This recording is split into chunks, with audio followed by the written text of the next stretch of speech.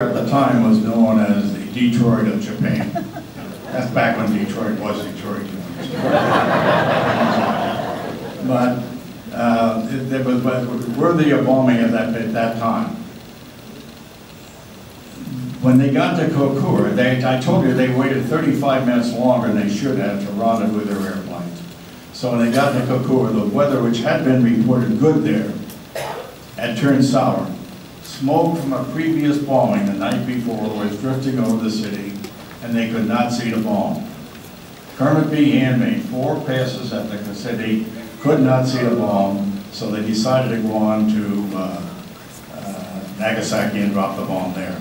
So the reason Kokura was saved was bad weather, essentially, over the, over the target.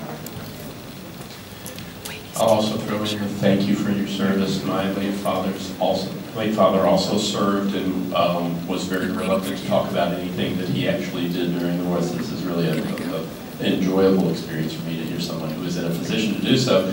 And so I'm going to ask the question kind of more on a, a, a personal side of things. So you're in your mid-twenties, you've done something that has changed the course of history. You actually already know that has changed the course of history. What do you do for an encore? How does that affect the rest of your life when you already know that you've, you've already done something that mattered more than most people ever come within 100 miles of? How'd that affect the rest of your life? What you try to do is go out and feed your family.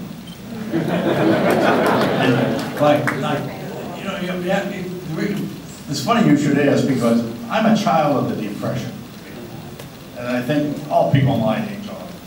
We lived an entirely different style of life from what people have lived since, or certainly from what people are living now.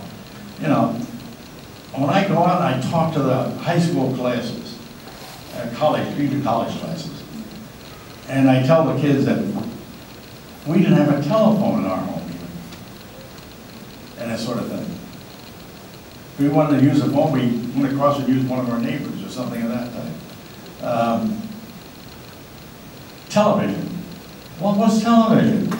We didn't have things. First television I saw had a round screen on it for heaven's sakes. And everything of that. We had nothing that you have now. And so basically, I'm just trying to keep up with the world. That's what they basically what it amounts to. And I, like, I'm trying to learn from my grandchildren too. I'm sitting down at the beach the other day and my grandson's in there and he says, Granddad, what are you doing with that old cell phone?